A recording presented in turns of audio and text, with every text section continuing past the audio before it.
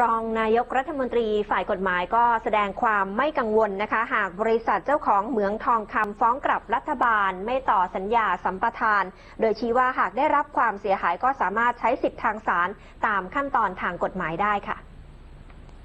นายวิษณุเครืองามรองนายกรัฐมนตรีได้กล่าวถึงกรณีที่บริษัทอัครา รีซอสเซจจำกัด อาจจะฟ้องร้องกลับภายหลังจากที่คอรมอมีมติไม่ต่ออายุสัมปทานเหมืองทองคำจังหวัดพิจิตรที่จะหมดลงในปีนี้ว่า ในแง่ของข้อกฎหมายนั้นต้องกลับไปดูเงื่อนไขสัญญาสัมปทาน แต่ส่วนตัวนั้นคิดว่าไม่น่าจะฟ้องร้องได้ เพราะสัญญานั้นหมดอายุแล้ว และคอรมอไม่ได้อนุญาตต่ออายุสัญญาให้ส่วนกรณีที่บริษัทอัครายืนยันมีสัมปทานถึงปี 2571 นั้นนะคะ ส่วนตัวไม่ทราบต้องถามไปยังกระทรวงอุตสาหกรรม เพราะที่กระทรวงอุตสาหกรรมรายงานมาคือการต่ออายุสัมปทานให้จนถึงสิ้นปีนี้ แสดงว่ามีอายุสัมปทานแค่นั้น ดังนั้นหากบริษัทเอกชนจะฟ้องร้องกลับก็ไม่เป็นไร เพราะถ้าคิดว่าได้รับความเสียหาย ก็สามารถไปขอให้สิทธิทางศาลได้ เช่นเดียวกับการที่รัฐบาลที่ถูกดำเนินการมาหลายเรื่องแล้ว ซึ่งเป็นเรื่องธรรมดาถูกผิดก็ต้องไปพูดกันในศาลและหากศาลสั่งว่าต้องให้เปิดดำเนินการ รัฐบาลก็ต้องเปิดทางให้ค่ะ นอกจากนี้นะคะนายวิษณุยังได้กล่าวถึงแนวคิดของนายเสรีสุวรรณพานนท์ประธานคณะกรรมาธิการขับเคลื่อนการปฏิรูปประเทศด้านการเมือง หรือสอปทที่มีการเสนอให้ใช้มาตรการรอการกำหนดบทลงโทษ เพื่อสร้างความปลองดองว่า ยังไม่สามารถให้ความเห็นอะไรได้มากนัก เนื่องจากยังไม่มีการประสานเพื่อหารือในเรื่องดังกล่าวจากนายเสรี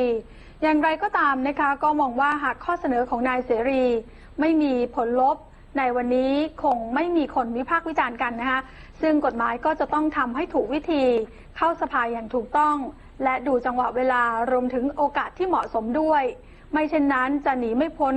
คำถามว่ารับออเดอร์มาหรือไม่นะคะ ก็จะต้องคำนึงถึงความรู้สึกประชาชน เพราะความผิดตามกฎหมายจะต้องได้รับโทษ แต่อยู่ๆมาบอกว่าไม่ต้องหรือให้รอ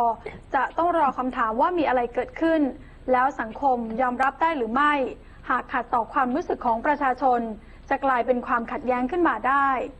ส่วนกรณีที่มีการเรียกร้องนะคะให้ต่างชาติเข้ามาสังเกตการสำหรับ การทำประชามติซึ่งกำลังจะเกิดขึ้นในเร็ววันนี้นะคะท่านก็บอกว่ารัฐบาลนั้นไม่ได้ปิดกั้น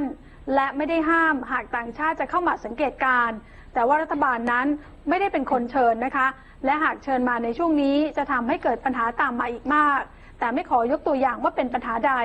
แล้วยังมีเรื่องของค่าใช้จ่าย ที่คณะกรรมการการเลือกตั้งหรือว่ากกตจะต้องขอเพิ่มอีกนะคะ ส่วนการเลือกตั้งที่จะเกิดขึ้นในปี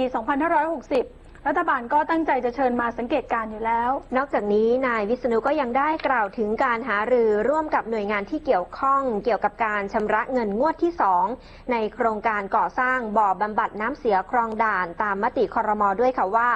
ยังไม่ขอเปิดเผยรายละเอียดนะคะ เพราะอาจจะกระทบหลายอย่าง เนื่องจากมี 4-5 ประเด็นที่ยังไม่ชัดเจน และรัฐบาลยังไม่เห็นเอกสารหลายชิ้น จึงต้องให้ชัดเจนก่อน แล้วจึงกลับมาหารือกันใหม่ ส่วนเกณฑ์การจ่ายเงินดังกล่าวนั้นจะมีการเปลี่ยนแปลงหรือไม่ก็ยังตอบไม่ได้ค่ะ ซึ่งคดีนี้ไม่ได้กำหนดเวลาว่าจะเสร็จเมื่อใดด้านนายพิสิทธิ์ลีลาวชิโรพาสผู้ว่าการตรวจเงินแผ่นดิน หรือคอตงก็ออกมากล่าวนะคะ ว่าในส่วนของสำนักงานตรวจเงินแผ่นดิน หรือสอตงนั้นเห็นว่าเรื่องนี้อาจจะต้องให้มีการทบทวนข้อเท็จจริงใหม่ค่ะ ว่าจะอาศัยวิธีพิจารณาสารปกครอง เพื่อนำไปสู่การพิจารณาข้อเท็จจริงได้หรือไม่อย่างไร ซึ่งจะต้องขอความเห็นอายการและกระทรวงการคลังต่อไป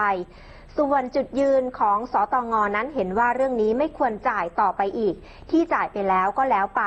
ส่วนที่ยังไม่ได้จ่ายต้องหาวิธีทบทวนว่าจะทำอย่างไร ส่วนจะขัดคำสั่งศาลหรือไม่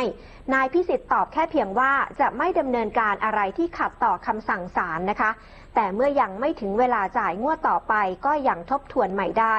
ทั้งหมดก็เป็นความเห็นของสตงซึ่งนายวิษณุคงจะรับฟังความเห็นของหน่วยงานอื่น ๆ ด้วย เพื่อกำหนดท่าทีว่ารัฐบาลจะทำอย่างไรต่อไปค่ะ